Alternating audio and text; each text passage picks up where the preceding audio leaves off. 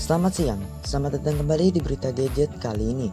Berita kali ini menyoroti brand Xiaomi yang merilis dua smartphone terbarunya secara global, tepat tanggal 8 Januari 2021, yakni Redmi Note 9T 5G dan Redmi 9T.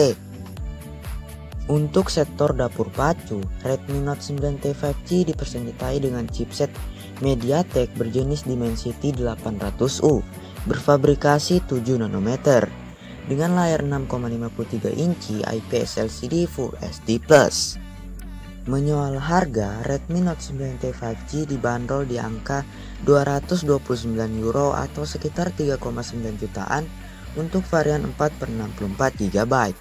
Sedangkan 269 euro atau sekitar 4,6 juta untuk varian 4 per 128 GB.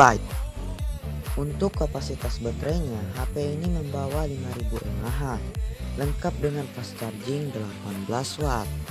Mantap.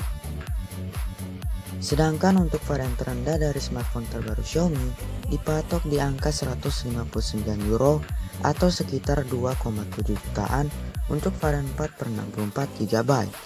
189 euro atau sekitar 3,2 jutaan untuk varian 4 per 128 GB.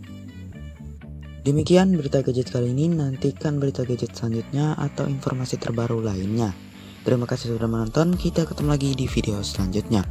Bye-bye.